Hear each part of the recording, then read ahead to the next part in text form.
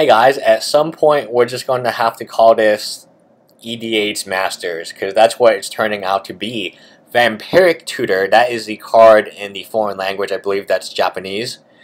Vampiric Tutor. Crazy, crazy, crazy. Uh, that card might actually be Korean. Uh, it's not Chinese, but it's either Japanese or Korean. Enlightened Tutor, which is a non-mythic, which is good. So they got a bump up. Vampiric became a mythic, and Enlightened became a rare. And Maze of Ith. These are three of the most played EDH cards, and they are pricey. So to see these cards like this again, reprinted, definitely what you want to see if you are trying to get started with the game. If you're trying to get started with EDH, these are staples uh, for pretty much any deck that can play any deck in those colors.